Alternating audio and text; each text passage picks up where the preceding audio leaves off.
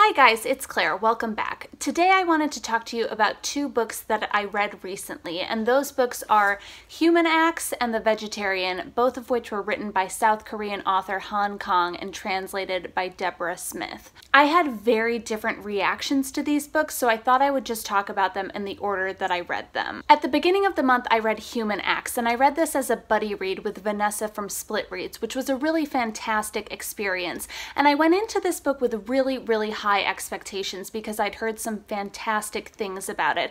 And I would say that by the end of this book, those expectations were met, at least on an emotional level. But it was a really interesting reading experience because for much of the book, I wasn't really sure how I felt about it. Just for some quick background, this book centers around the Gwangju uprising that occurred in South Korea in May 1980. And that event basically involved a bunch of students and civilians in Gwangju protesting for more democratic rights. And that protest was met with an unprecedented sort of military crackdown that led to the deaths of anywhere from 1,000 to 2,000 civilians who were slaughtered and beaten in the streets of Gwangju. And I went into this book knowing almost nothing about Korean or South Korean history, and I don't think that's a prerequisite for reading this book, especially because there is an introduction from the trans translator Deborah Smith where she provides a little bit of historical context for you. And this book is much more about the emotional and human impact of this event rather than about the historical or political specifics of it. But I will say that not knowing the full historical context does make the beginning of this book a little bit disorienting. This book is composed of the stories of seven different people who are all connected to the Gwangju uprising in some way. And as the book goes on, you realize that these stories are all interconnected and interwoven, sometimes in very subtle ways. The first section of this book follows a young 15 year old boy named Dong Ho who is looking for the body of his friend during the uprising, and all of the successive stories after that take place a little bit farther away time wise from the actual uprising. So you start in 1980 in Gwangju, and from there the stories kind of spread outward and take place in 1985, 1990, 2002, all the way up to 2013, which is when this book was written. And I think that structure is really effective because it shows you the long arc of trauma and human suffering that this one event imprints on so many people's lives. And by following people many years and decades after the uprising, it also shows you how, even for the people who survived the uprising, their lives are fundamentally changed. And in some cases, their lives are altered sort of beyond repair. And in many ways, I think that just impresses upon you the extent of the human loss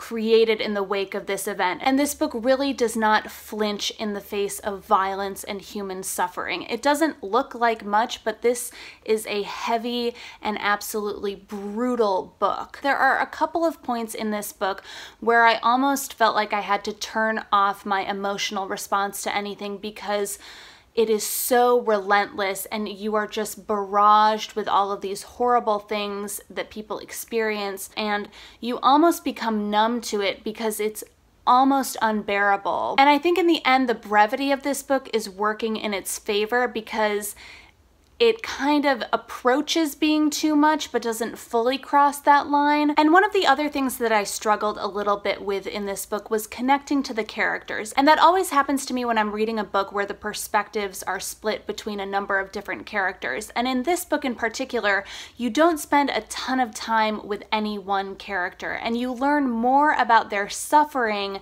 I would say, than you learn about their individuality or their personalities or their specific lives. The focus is really on the things that they have endured. On that level, the character of Dong Ho really saved this book for me. He's the 15 year old boy that this book opens with, and Dong Ho is a presence and an image and a memory in some cases that recurs throughout this book. He's very much the ever present heartbeat of this book, and he's the emotional thread that ties all of these stories stories together. And not to give anything away, but the last couple chapters of this book tie in more directly to Dong Ho's storyline, and the second to last chapter in particular just bowled me over. Like, I'm not someone who cries much when I read, and I had to put this book down because I was just losing it. It was so emotionally powerful. And in some ways, I worry that I'm having a little bit of peak end bias with this book where I kind of forget my quibbles with the other sections of the book because the Dong Ho storyline just hit me so hard and absolutely lodged itself in my heart. But even with its flaws, I do think this book gives you a lot to think about, and I think it has a lot of layers. And I have to say that the farther out I get from having read this book, the more it continues to linger with me, which I think is the sign of a great book. And it was while I was kind of still on that high after finishing Human Acts that I decided to pick up The Vegetarian because I was curious about reading some of Han Kang's other works. And unfortunately, I didn't really like this book. In case you don't already know, the premise of this book is that a woman called Young Hee announces to her husband one day that she has decided to stop eating meat. The book is split into three distinct sections and each one is told from a different person's perspective. The first one being that of Young Hee's husband, the second one being that of her brother-in-law, and the last one being that of her sister. And because none of this book is actually told from the perspective of Young Hee herself, she remains a kind of obscure and mysterious figure at the center of the book. And I understand what this book is trying to do on an intellectual level, and I understand what it's trying to do in terms of tackling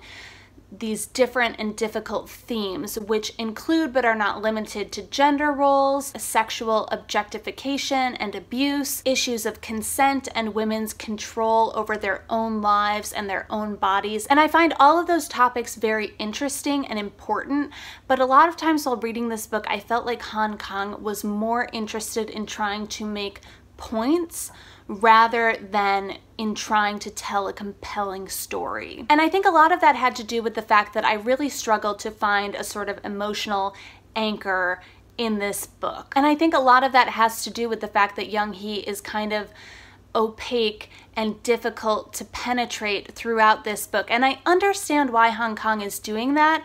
And I think it's interesting because the fact that she doesn't get her own point of view at any point in the book sort of underscores her lack of agency and the ways in which other people are trying to control her throughout the book.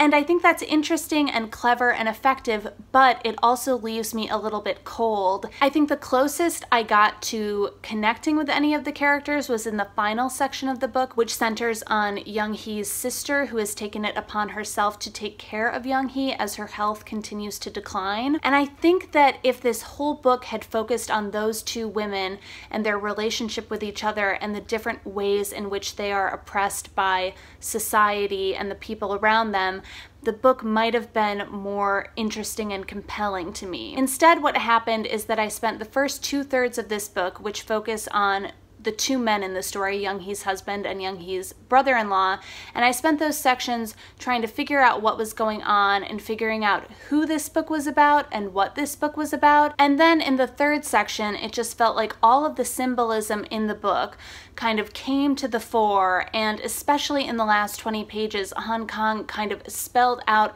the whole meaning of this book for you in like huge magic marker. It's like the book did this 180 from being almost too subtle and inscrutable to kind of just hitting you over the head with the meaning of all of these symbols and the meaning of the book. And I just found it very heavy handed and very on the nose. And I even had some sections where I wrote like ugh in the margins because it was just so spelled out for you. I don't know, this book was just a miss for me. Sorry to end on a downer note. All that being said, I do really recommend that you check out Human Acts, and if you've read anything by Han Kang or if you have thoughts on her books or Deborah Smith's translation, please let me know in the comments below, and I'll see you next time. Thanks so much for watching, guys. Bye!